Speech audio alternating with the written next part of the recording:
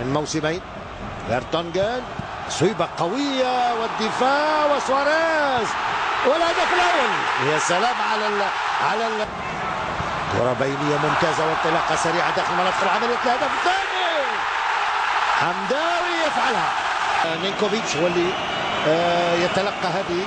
لا بالفعل فيه ضربة جزاء. ويسجل. سجل الهدف